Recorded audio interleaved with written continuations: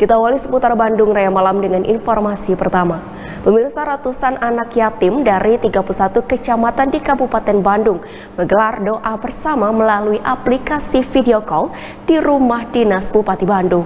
Doa bersama digelar bertujuan untuk mendoakan wabah COVID-19 agar segera berlalu. Beginilah suasana pelaksanaan doa bersama melalui video call yang digelar ratusan anak yatim dari 31 kecamatan di Kabupaten Bandung.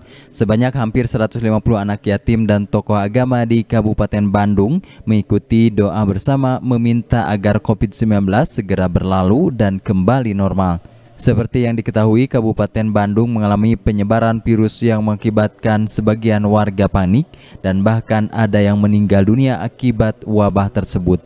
Selain meminta penyebaran COVID-19 berakhir, doa bersama tersebut pun sebagai bentuk dukungan dan harapan warga Kabupaten Bandung yang dilanda COVID-19 dapat teratasi dan kembali aman.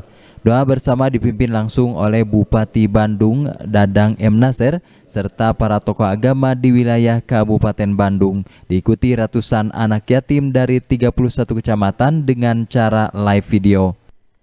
Mendoakan bagaimana tolak balai, doa mencegah malapetaka atau musibah.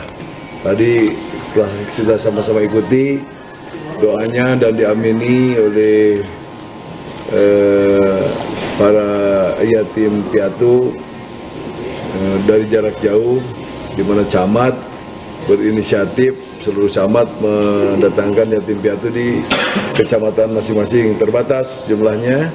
Hingga saat ini korban meninggal dunia akibat peristiwa wabah COVID-19 masih terus berjatuhan di Indonesia.